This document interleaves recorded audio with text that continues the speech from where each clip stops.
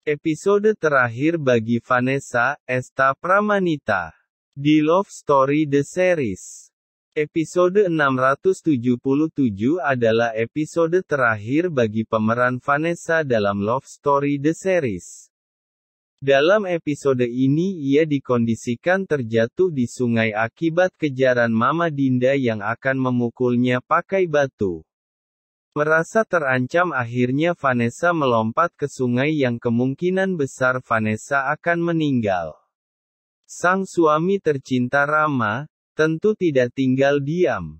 Tetapi ia tidak bisa berbuat apa-apa, karena ia sendiri pingsan karena sok.